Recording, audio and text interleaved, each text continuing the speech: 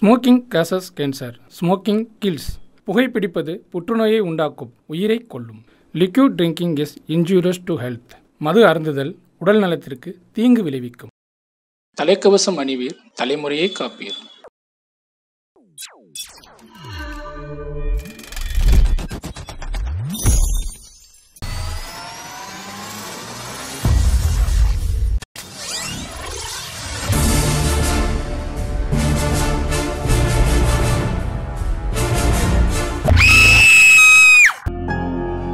மிருகங்கள் கூட தனக்கான இரையை வேட்டையாடி கொண்டு தான் சாப்பிடும்.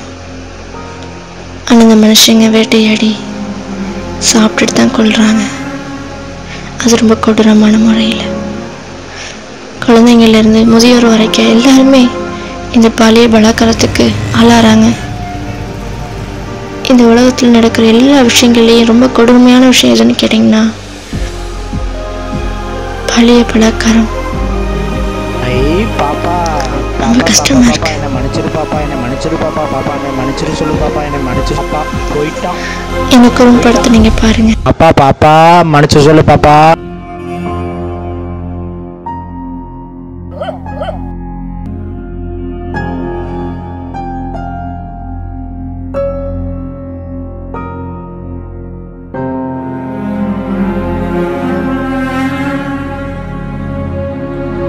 பாப்பா அழாத பாப்பா அழாத பாப்பா. அழாதப்பா உன் காலைல விழுகிறேன் பாப்பா அழாத என்னங்க? பைத்தியக்காரன் குழந்தைகளை வெட்டி திரியிறான் நீங்க பாட்டு பார்த்துட்டு பேசாம இருக்கீங்க? பாப்பா அழாதப்பா என்னை மன்னிச்சு அவன் கிடைக்கிறான் பைத்தியம்? அந்த பைத்தியத்தையும் கேட்குறீங்க சொல்லு பாப்பா மன்னிச்சிரு சொல்லு பாப்பா அழாத பாப்பா அம்மா தள்ளி விட்டாலே. அதுக்காரில் ஊர் தலைவர். வணக்கம் ஐயா. வணக்கம் வணக்கம். ஏதோ பைத்தியத்தை பத்தி கேட்கணுங்களே இந்த ஊர்ல வந்திருக்காங்க அவங்கள்ட்ட கேட்டுக்கங்க. ஆ வணக்கண்ணே நான் இந்த பைத்தியத்தை பத்தி விசாரிச்சுட்டு இருந்தேன். என்னன்னா நீங்க வந்தீங்க. நான் உங்களுக்கு தான் தெரியும் உங்களுக்கு அவனை பத்தி கேக்குறீங்களா? என் கூட வாங்க நான் ஆபீஸ் தான் போறேன். அங்க உட்காந்து பேசலாம். வாங்க. அப்படியா?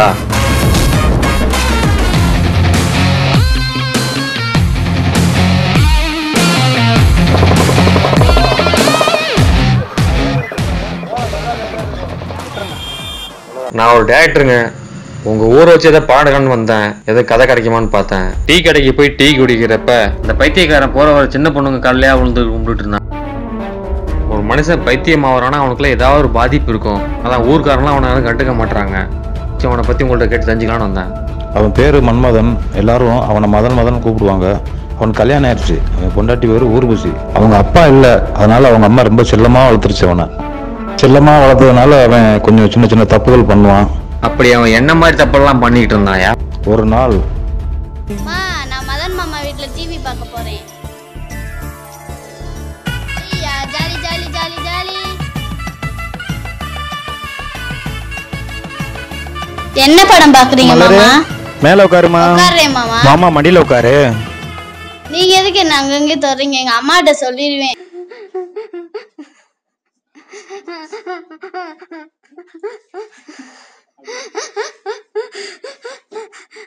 ஏய் ஓடாதம்மா மலரு.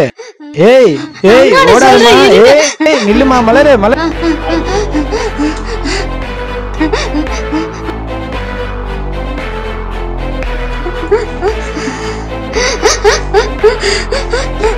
அம்மா மதன் மாமா என்ன அங்க என்ன சொல்ற? அங்க அங்கதான் தொட்டாங்க. என்ன சொல்ற நீ? வாங்க கூட.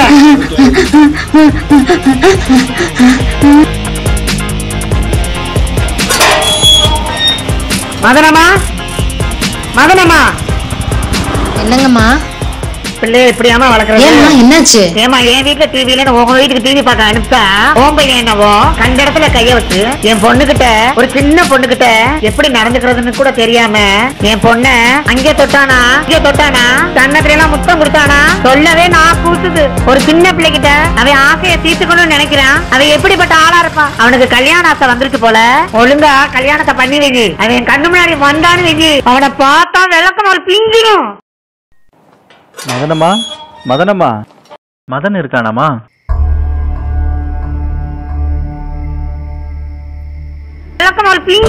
என்னம்மா? என்ன சொல்றீங்க? அம்மா அழாதீங்கம்மா. நான் பேசுறேம்மா அவன்கிட்ட. போற வழியில புரோக்கர் ராமரை பார்த்துட்டு வர சொல்லுப்பா. சரிங்கம்மா பேசுறேம்மா. ஏய் டே மதன ஏய். ஓ சே. என்னடா இங்கே உட்காந்துருக்க உங்க அம்மா அங்க உன்னை தேடிக்கிட்டு இருக்காங்கடா. ஏன்டா? என்னாச்சு? ஏன் இப்படி பண்ண? என்னாச்சுடா? விட்றா நீ வேற. இதெல்லாம் ஒரு மேட்ரா ஏய் என்னடா? இப்படி சொல்ற? வயசுல இந்த மாதிரி ஆசையெல்லாம் வர்றது சகஜம்தான்டா. அதுக்காக எப்படியாடா? சின்ன பொண்ணுடா அந்த பொண்ணு. வாடா நான் அம்மாட்ட பேசிக்கிறேன்டா. வாடா. என்னது? சின்ன பொண்ணா? என்ன பிரச்சனை? இல்லடா அதெல்லாம் ஒன்றும் பிரச்சனை இல்லடா. வாடா நீ எந்திரா நீ. என்ன ஒரு மார்க்கமா திரியிறாங்களே. இவங்க பேச்சுவார்த்தை ஒன்றும் சரியில்லையே. அம்மா? வணக்கம்மா. வணக்கம். உட்காருங்க ராமரு. சொன்னீங்களாம்மா? கணேஷ் சொன்னாப்ல. ஆமா நான் தான் வர சொன்னேன். பொண்ணு ஏதாவது இருக்கா என் பையனுக்கு? நீங்க அவசரப்படுற மாதிரியே ஒரு பொண்ணு இருக்கு. பொண்ணோட அப்பாவும் அவசரப்படுறாரு.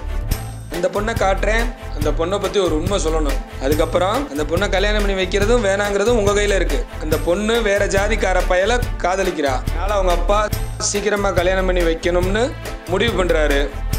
பொண்ணு பார்க்குற மாப்பிள்ளையெல்லாம் தட்டி கழிச்சிட்டு கல்யாண வயசை தாண்டி இன்னும் இருக்கிறா. உங்க பையனை விட அந்த பொண்ணுக்கு நாலு வயசு ஜாஸ்தி. இருங்க போட்டோவை காமிக்கிறேன் பாருங்க.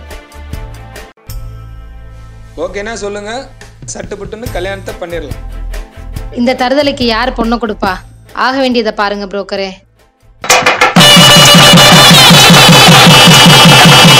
கல்யாணம் ஆனதுக்கப்புறம் என்ன பிரச்சனை அவனுக்கு கல்யாணம் முடிஞ்சதும் துணை பொண்ணா அவள் அக்கா பொண்ணு ஆறு வயசுல வந்துச்சு. அவன் கல்யாண பொண்ணை கொஞ்சாம அந்த ஆறு வயசு பொண்ணை அங்கங்கே கில்ல கொஞ்சம் ஆரம்பிச்சிட்டான். இந்த பொண்ணு அதை அவங்க அம்மாவிட்ட சொல்ல அவங்க அம்மா அவள் தங்கச்சிட்ட சொல்ல அப்போ ஆரம்பிச்சது பிரச்சனை. ஐயோ அப்புறம்? அவங்களுக்கும் ஒரு பொன் குழந்தை பிறந்துச்சு. பொன் குழந்தை பிறந்த உடனே மதனோட அம்மா அவனை தண்ணி குடுத்துன்னு வச்சுட்டாங்க. அப்புறம் என்னங்க ஆச்சு? அதுக்கப்புறம் வாழ்க்கை சந்தோஷமா போச்சுங்களா? இல்லையே அப்பதான் ஆரம்பிச்சிச்சு பிரச்சனை. அப்புறம் என்னங்க ஆச்சு? இந்த பொண்ணு ஒரு வயசுல ஊர்வசி குழந்தைய தூக்கிட்டு மாமியா வீட்டுக்கு போக நேரம் ரோட்ல விளையாடி இருக்கிற ஒரு குழந்தைய தூக்கி இவன் சிலுமிசம் பண்ண அந்த நேரம் இவன் பொண்டாட்டி அங்க வர ரெண்டு பேருக்கும் பெரிய சண்டை ஆயிப்போச்சு மதன் அவன் பொண்டாட்டி அடிக்க போக பொண்டாட்டி கையில இருந்த குழந்தை கீழே விழுக கீழே கிடந்த அருகாமன அந்த பச்சை குழந்தை கையில பட ரத்தத்தோட ஆஸ்பத்திரிக்கு கூட்டிட்டு போனவ தான் அதுக்கப்புறம் அவ திரும்பி வரவே இல்லை. டைவர்ஸ் நோட்டீஸ் தான் வந்துச்சு. ஐயோ அப்புறம்? அம்மா அம்மா வர சொல்லுமா அவளை. காலில் விழுந்து மன்னிப்பு கேட்குறேன் வர சொல்லுமா அட பரதேசி நாயே நீ திருந்தவே மாட்டியாடா? திருந்தாத ஜென்மண்டா நீ. குரங்கு கையில பூமாலை கொடுத்த மாதிரி அழகான பொண்ணை உனக்கு கல்யாணம் பண்ணி வச்சேன். அவ கூட நீ சேர்ந்து வாழாம அவ வாழ்க்கையே நாசம் பண்ணிட்டியடா. உன்ன மாதிரி பிளே பத்ததுக்கு நான் தாண்டா நாண்டுகிட்டு சாகணும். நீ பண்ற பிரச்சனையால காதுல கழுத்துல கிடக்கிறதெல்லாம் இழந்துட்டு இருக்கிறது உங்க அப்பா ஞாபகமா இந்த ஒரு வீடு மட்டும்தான். அதை இழக்க நான் தயாரா இல்ல. வெளியே போடா நாயே.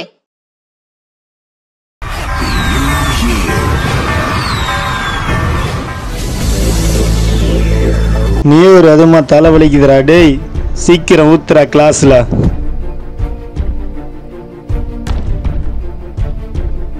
டேய் மச்சான். டேய் டேய் ஒன்னத்தாண்டா நானும் ரொம்ப நாளாக உன்னைய வாட்ச் பண்ணுறேன் என்ன நீ ஒரு மாதிரியாகவே இருக்க? சொல்டா மாப்பிள்ளட்ட தான் நான் சொல்கிறேன் சும்மா சொல்டா ஸோ என்னடா இப்படி பண்ணி வச்சிருக்க? டே தம்பி வாடா.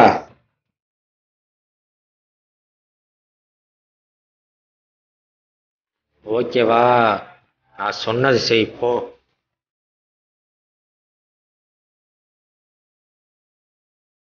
டேய் மாப்பிள்ள இந்த டிஃபனுக்குள்ள என்ன இருக்குன்னு உனக்கு தெரியுமாடா? என்ன இருக்குன்னு எனக்கு என்னடா தெரியும்? மச்சான் நீ தெரியாது. மச்சான். மாப்பிள்ள இத திறந்து பார்க்கணும் உனக்கு ஆர்வமா இருக்கா இல்லையா? தெரியலையே. திறந்து பாரு. மச்சி இதுல என்னடா இருக்கு? இருக்கா இல்லையா? இதா. இங்கிருத்தானா வெறும் முறுக்கும் கடலை மிட்டாயும் தானா? மச்சி இப்போ ஒரு பொருளை பூட்டி இருந்துச்சுன்னு வச்சுக்கோ. அதை திறந்து பார்க்கணும் திறந்து பார்க்கணும்னே ஆவலா இருக்கும் அதே பொருளை திறந்து பார்த்தா அடச்சி இவ்வளவுதானா கோன் இருக்கும். அதே மாதிரிதான் மாப்பிள்ளை எல்லாமே. டே மாப்பிள்ள. உன்னோட அந்த ஆசை இருக்கு பாத்தியா? சொல்லி அது வந்து இந்த பூட்டி வச்சிருக்க டிபன் பாக்ஸ் மாதிரி. அத நீ திறந்து என்ன மச்சான் எல்லாம் தப்பு தப்பா சொல்லி கொடுக்குற?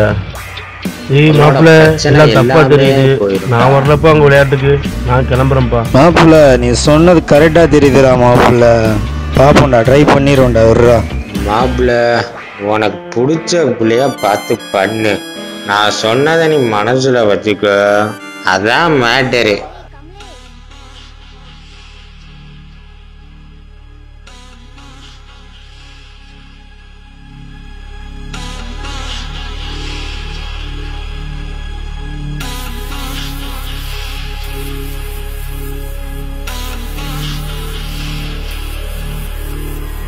அதை மட்டும் நீ பண்ணிட்டான்னு வச்சுக்க. அப்புறம் நீ வாட்டு லைஃப் ஃபுல்லா சந்தோஷமா போய்கிட்டே இருக்கலாம்டா.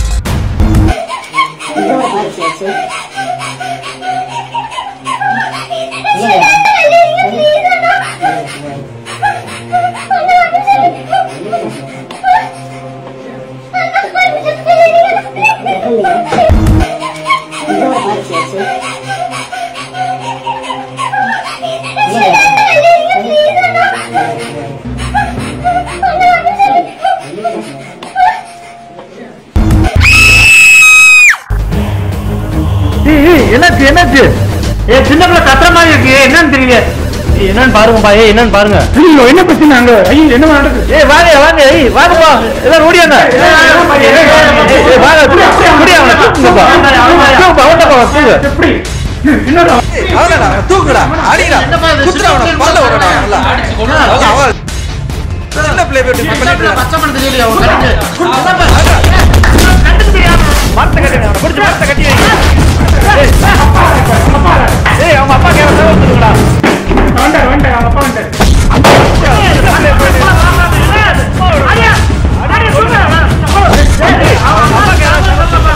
என்னப்பா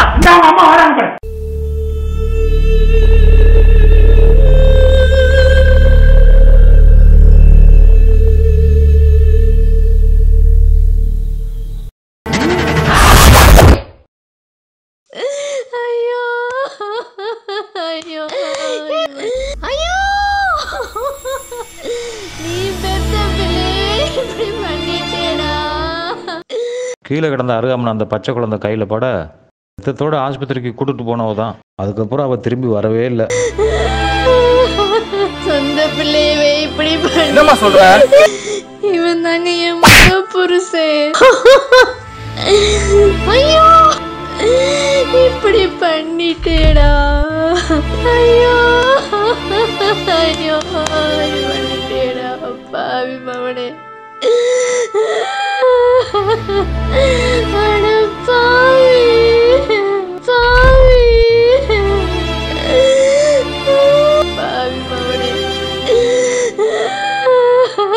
ஐயோ அடி பண்ணிட்டேடா. பாவி மவனே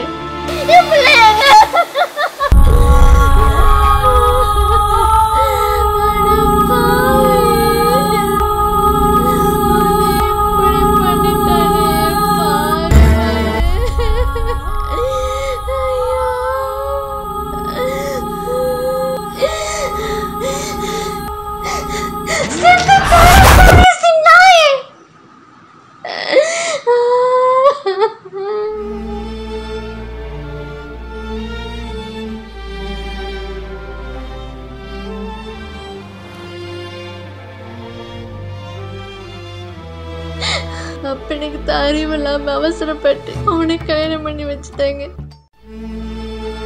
காதலிச்சு அவங்கள விட்டுட்டு அவன் கைய பிடிச்சேன். ஆனா அவனை பத்தின விஷயம் தெரிஞ்ச உடனே காதலிச்ச பாவத்துக்காக என்ன நீங்க ஏத்துக்கிட்டீங்க. ஆனா என் பிள்ளை என்ன பாவம் பண்ணுச்சு? என் பொண்ணு என்ன பாவம் பண்ணுச்சு?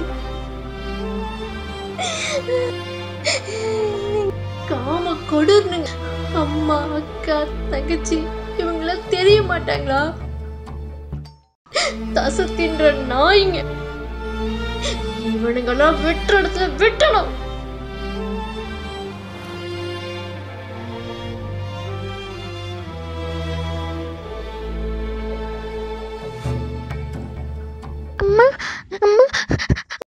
எல்லாருமே கேள்விப்பட்டிருப்போம்.